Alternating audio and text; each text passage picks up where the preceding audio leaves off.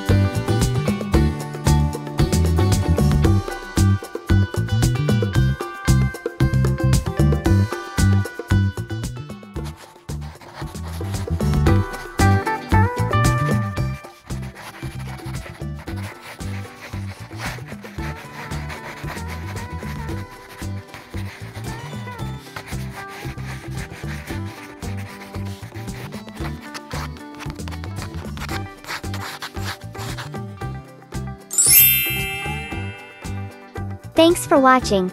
See you in the next video.